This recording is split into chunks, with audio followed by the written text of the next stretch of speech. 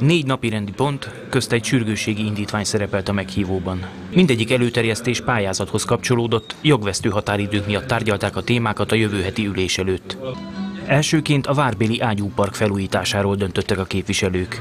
A Kubinyi Ágoston program keretében jönne létre egy állandó szabadtéri kiállítás a műemlék együttesben, a Végvári Hősök ágyúi címmel. Megújulna 17 löveg, azaz az utánöntöttek és az eredetiek is, sőt működőképessé is tennék ezeket.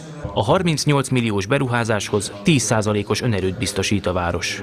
Döntöttek arról is, hogy egy pályázat segítségével állandó kiállításon mutatják be a Kepes központban a Nemzeti Kulturális Alap által tavaly Eger számára 45 millió forintért megvásárolt 1500 darabos Kepes fotógyűjteményt.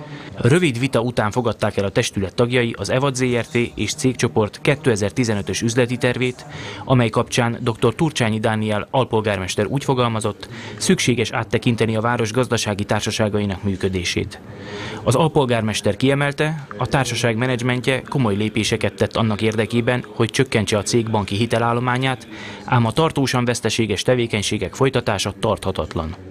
Dr. Turcsányi Dániel azt javasolta, bár az igazgatóság korábban 5%-os bérköltségnövekményről döntött, érdemes lenne ennek végrehajtását felfüggeszteni, és a cég működésének áttekintése után visszatérni rá.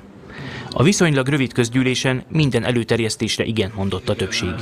Legközelebb április 30-án csütörtökön ülésezik a közgyűlés.